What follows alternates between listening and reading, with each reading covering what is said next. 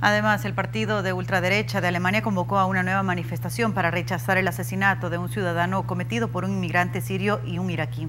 Los disturbios de la última movilización dejaron 20 personas heridas y ahora la policía afirma que está mejor preparada. Cuatro días después de la muerte a cuchilladas de Daniel, hijo de un cubano emigrado a la DDR, la tensión vuelve a las calles de Chemnitz. Tensión y desconfianza.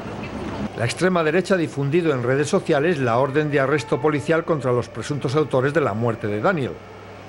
Allí figuran los nombres de los testigos y la dirección del iraquí Yusuf y el sirio Alaa.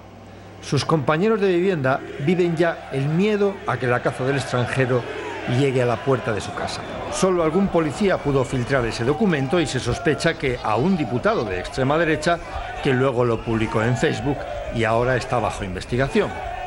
Las sospechas de que parte de la policía está en connivencia con la extrema derecha también saltaron la semana pasada cuando en una manifestación de Peguida un manifestante increpó y acosó a un equipo de la televisión pública.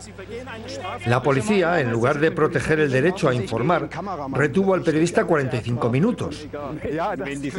Luego se supo que el indignado ciudadano de Dresde que no quería ser grabado era funcionario de la policía.